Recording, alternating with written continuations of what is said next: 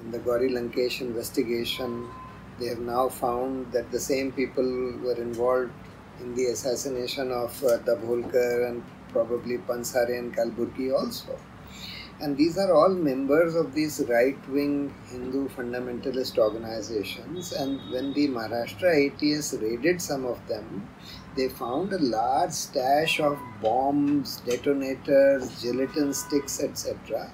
And they, uh, on interrogation, they found that they were planning to uh, explode these bombs in Ganpati mandaps, in Eid functions, etc., to cause mayhem and also to pin the blame on Muslims in order to cause communal riots.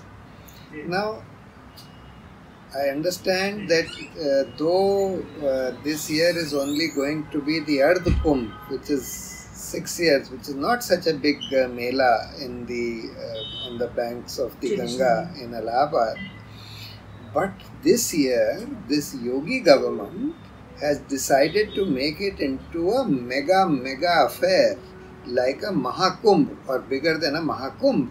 And they are making preparations, spending thousands of crores into making a mega city on the banks of the river, which is meant to be for almost 4 crore people, even though the population of Allahabad is only 20 lakhs. My fear is that in such a large gathering, it will be impossible to uh, maintain security in a gathering of 4 crore and this kind of thing. Mm-hmm. And there, and on any major bathing day, where actually crores of people try and take a dip in the river, even if a small bomb goes off somewhere, the stampede can kill thousands. It's going to create mayhem.